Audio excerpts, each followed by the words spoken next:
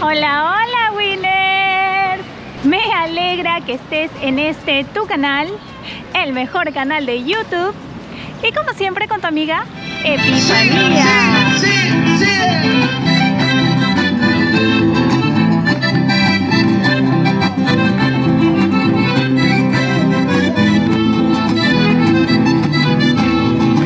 Ese río de. Perú, además de deleitarnos con ricos platillos que forman parte de nuestro menú diario, también contamos con ricos postres, deliciosos postres que por lo menos te invitarán a picar un poquito, aunque eso sea casi imposible debido a que si me pruebas, no me dejas, parecen decir estos postres como los picarones, pues son postres dulces en forma de aro o anillo con un hoyo en el centro y que están hechos de masa de harina de trigo, levadura, camote y zapallo y cuya miel lleva hoja de higo, además de que le ponen chancaca o panela como es conocido normalmente y además le ponen anís, canela y hasta cáscara de naranja, lo que hace que esa miel tenga un sabor exquisito. Como se puede observar, hacia este lado está la iglesia del Parque Kennedy. Y por acá es donde se ha habilitado la feria de los picarones y de los postres dulces. Después de. Lo nuestro ya se acabó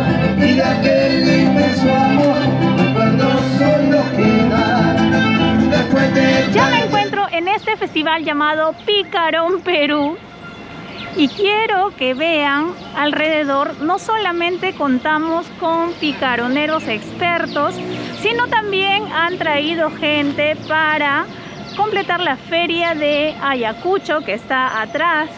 Entonces los picaroneros solamente por el momento se encuentran a los lados, como es esta zona. Y también están por esta zona. Como salta a la vista, Miraflores es una zona altamente turística. Por ejemplo, hay un grupo de turistas por ahí, hay otro grupo de turistas por acá. Y es un acierto que hayan colocado esta feria del picarón y a la par la feria de Ayacucho para revalorar los productos tanto de Ayacucho como el picarón. Los picarones suelen venderse en la calle, se preparan en carritos similares a este. Cuentan con una hornilla para calentar el aceite. Recordemos que los picarones se fríen, ¿verdad? Entonces, obviamente, eso se hace en el instante. Tú pides tu porción de, picarones y el señor, la señora picaronera van a empezar a freírlo en el momento para que los comas calientito y esa miel bañada sobre los picarones es una delicia. Este es uno de los puestos de picarones que se han habilitado en esta feria y voy a conversar hoy día con la señora que los está preparando. Buenos días, ¿cuál es su nombre? Doña Nina, Doña Nina. Ok, usted es la señora Nina. Entonces, eh, ¿qué tipo de masa de picarón ha traído el día de hoy? en esta oportunidad hemos traído cinco variedades de picarón, que entre ellas está la tradicional, la de maíz morado, la de quinoa, la de masgua y la de yacón, acompañada de la miel de higo, de guanábana, de maracuyá y de arándano. Bueno, tengo porción pequeña que es de 7 soles y la porción de 6 unidades que está a 10 soles. O sea, prácticamente son maestros picaroneros es, ustedes. Son es. este, ya así, vienen de generación en generación. Usted es es. la cuarta La generación. me cuarta dice. generación, mami. Así es, mami. Wow. Entonces, usted desde chiquitita prepara los picarones. Desde que tenía 8 años, Desde que tenía 8 Ocho años años, aprendió a hacer los picarones. Wow. Gracias a mi madre que, de- que vino de Santiago de Chuco, ella preparó sus picarones. ella. Santiago de Chuco, Ajá. ¿dónde está ubicado exactamente? La Libertad, en el mami. departamento de la Libertad. Ah, mira, bastante tradición. Mira, ahí están los diferentes tipos de masa que ha traído. La masa tradicional y los otros tres tipos de masa. Aquí están los tres tipos de miel que te ofrecen. La miel de higo, la miel de maracuyá y la miel de arándano. Están innovando los tipos de miel para que puedas venir a probarlo sí o sí. No te lo puedes perder. ¿Y esa zapaterita? Sí, sí, sí.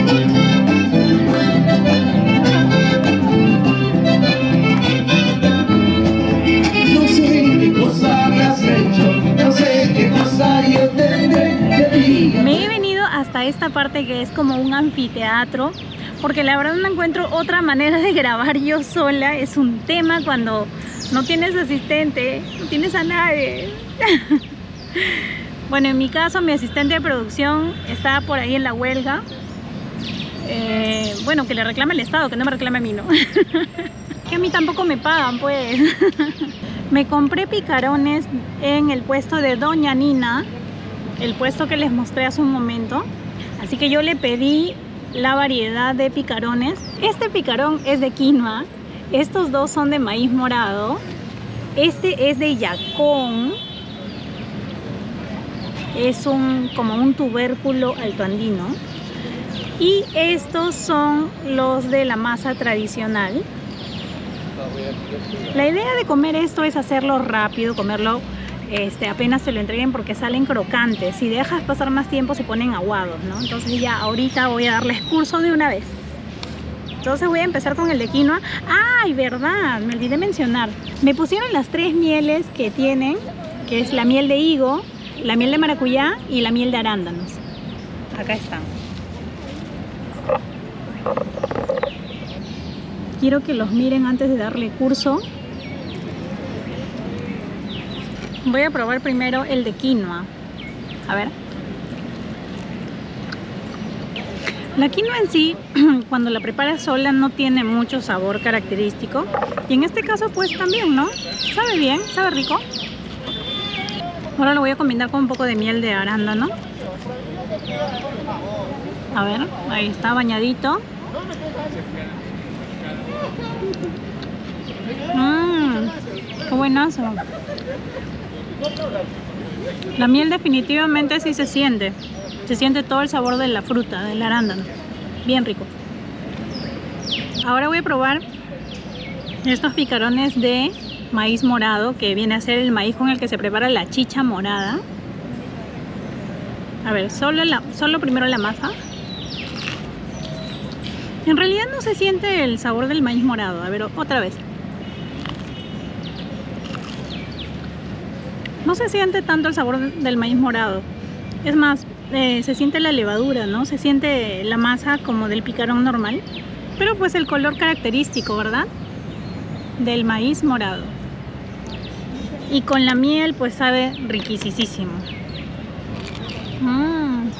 Quiero probar este picarón de yacón. Entonces le voy a poner la miel de maracuyá, la del medio. A ver.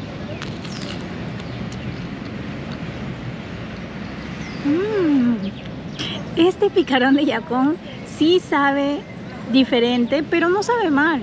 A diferencia del picarón de quinoa y el picarón de chicha morada, este picarón de yacón sí tiene un sabor característico. Y en realidad está muy bueno. Me gusta ese toque diferente que le da el picarón. Se siente muy rico.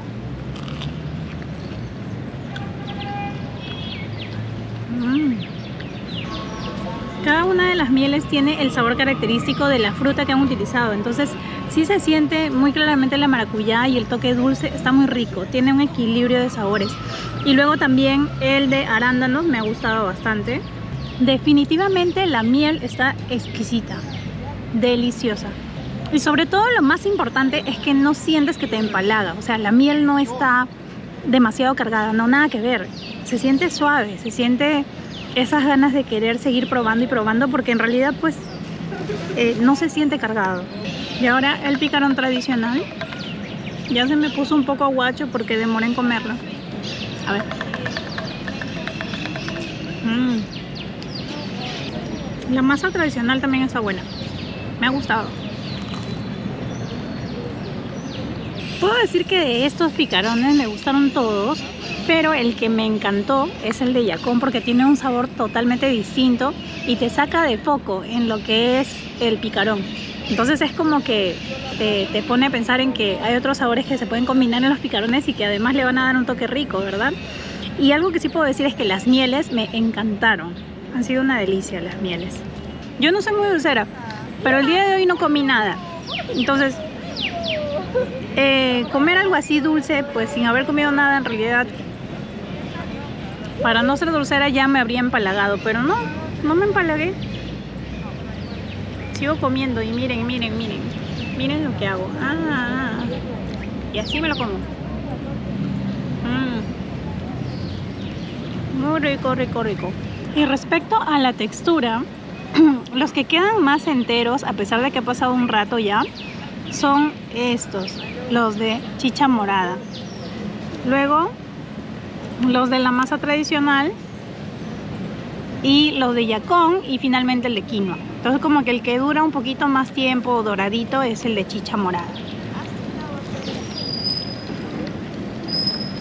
Entonces, algo de información que les pueda brindar sobre los picarones es que tienen su origen en los buñuelos españoles. Estos buñuelos eran unos dulces típicos que comían los virreyes en aquella época y las cocineras tomaron la receta y la hicieron popular a través de la figura del pregón. El pregón es básicamente promocionar un producto a través de llamar la atención, levantando la voz y hablando acerca del producto.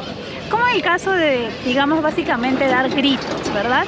Entonces, lo que se hacía era salir a la calle y hablar acerca del producto, como lo hacen hoy en día, como de repente alguien puede llamarte y decir picarones, picarones, de esa manera es como se hacía en esa época, sin embargo era muchísimo más interesante ya que se hacía a modo de canto y además se agregaban en algunos casos instrumentos musicales.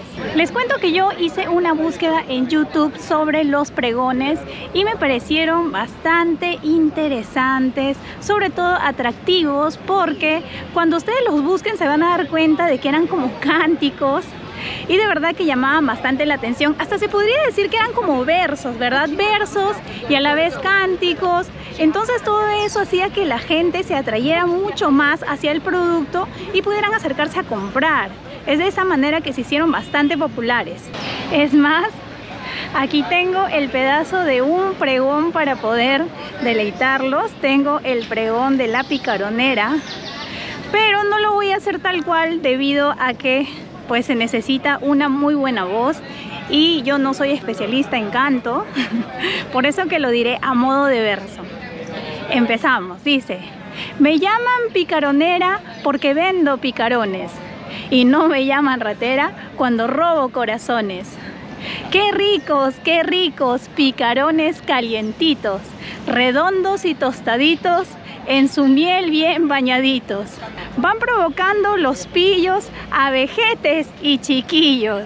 Y si los guardas un día y ya el picarón se enfría, si un hervorcito le das, borrachito lo pondrás.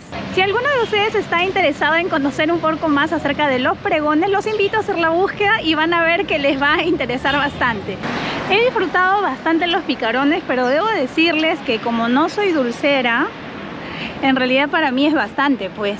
Entonces ya esto queda, no puedo ya darle más. Y aquí con el torito puedo decir que queda claro que en este variado mundo de gustos y colores, cada uno va a tener una opinión distinta respecto a todo. Y puedo decir que en cuestión de comida no es la excepción.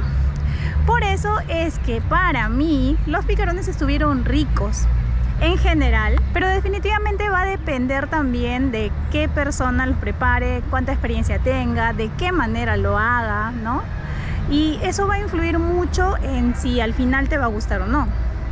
Ahora, queda en tus manos probarlos y decirme qué te parecen los picarones. Por lo pronto, yo me despido recordándote, valora mi esfuerzo con tu suscripción si aún no lo has hecho, atrévete a probar los picarones en Lima. Y si estás por la ciudad, ven a la feria Perú Picarón, sé feliz, haz lo posible y comparte.